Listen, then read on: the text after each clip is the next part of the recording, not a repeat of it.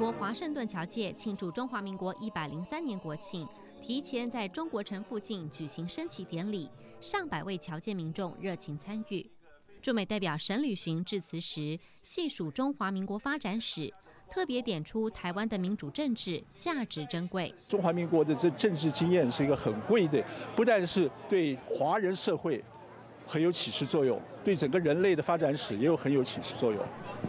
沈履巡提到，中华民国成立时就实施议会民主，时至今日，两岸三地的华人社会中，只有中华民国台湾有真正的议会民主制。